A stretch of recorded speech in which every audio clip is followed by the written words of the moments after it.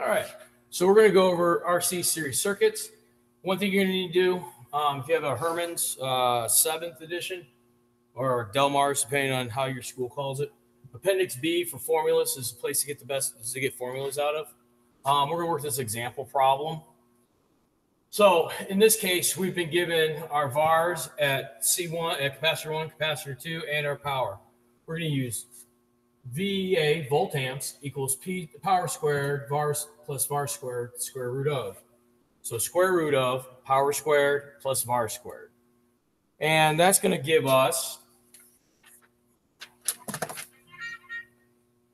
that's going to give us 10.625 volt amps.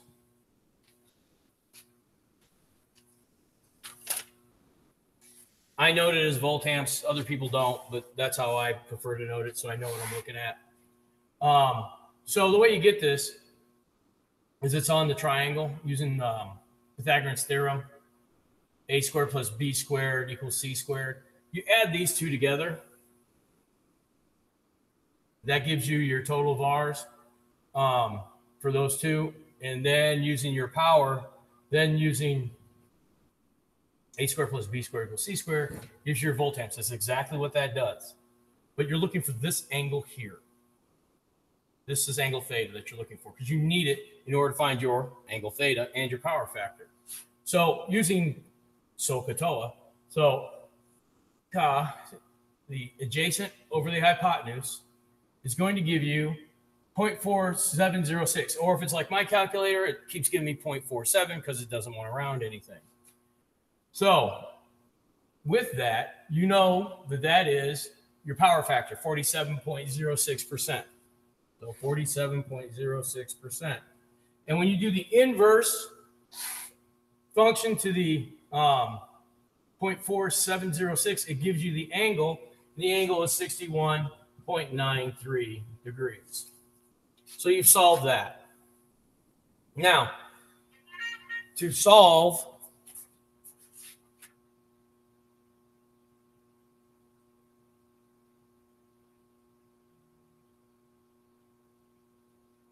pardon me, to solve for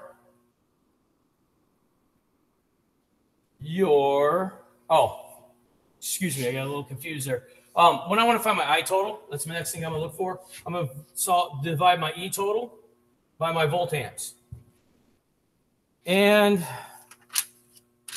that comes out to be 0.25 amps. Zero, and I, in the book they put a point zero, but that's fine. I don't worry about that too much. 0.25, 0.25, 0.25. And then with this, I go back and I use go back to power formula in Ohm's law. P divided by I will give me my E, and that's going to give me 20 volts. And in this location, I'm going to get 15 volts because you're going to use X, XC divided by EC. E, XC equals EC divided by IC. That's going to give you 15 volts. And over here, you're going to get 22.5 volts. So with that, you have plenty of working knowledge because now I can solve for R, right? E divided by I. And that should give me 80 ohms. It's easier to do because one fourth or 20 divided by one fourth, you flip it and four times 20. Um, and then we're going to get 60 ohms here, 60 ohms here. And then using, um, we can find total impedance.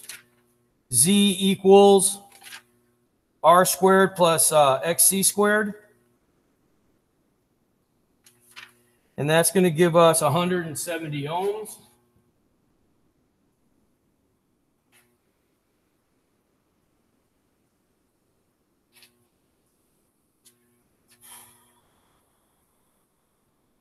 Yep, 170 ohms.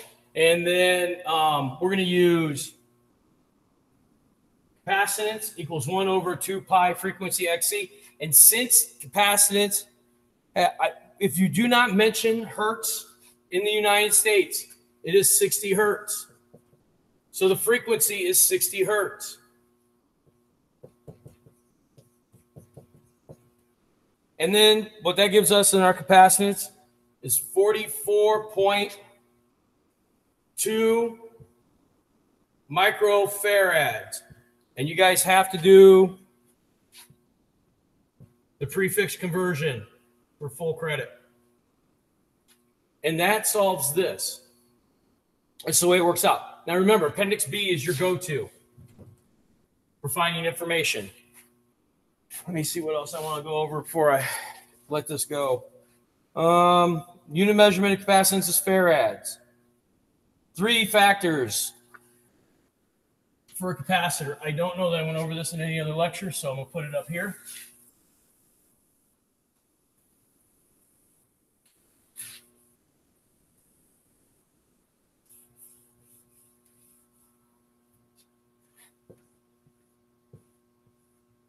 All right. So you have a dielectric. And you have plates. And you have your electrodes. So things, uh, three three factors that determine the amount of capacitance a capacitor will have is the area of the plates, how big the plates are.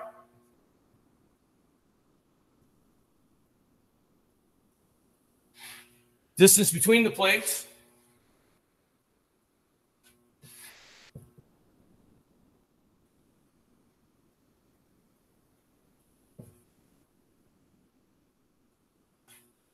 And the type of dielectric.